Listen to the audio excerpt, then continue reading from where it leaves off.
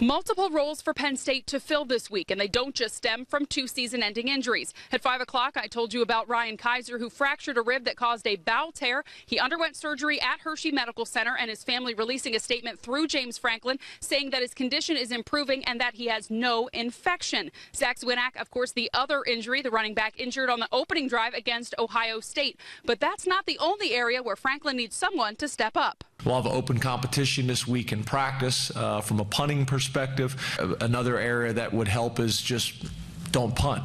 Maybe that solution already exists in the kicking corps. After Saturday's game, I asked senior place kicker Sam Ficken if he has ever punted, something the staff asked him as well. I did a little in the spring. Um, you know, obviously that's something that we need to work on. You know, uh, the guys in the locker room aren't pleased with their their punting in the game.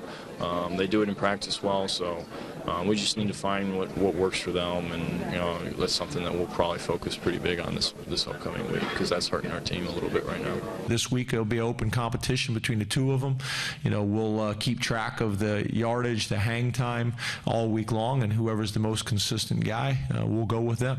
By no means is this the end for Franklin and his staff when it comes to Chris Gulla or Daniel Pasquariello. Franklin saying that Sam Ficken has actually been able to serve as a mentor to them as they deal with the confidence issues that go along with being a kicker.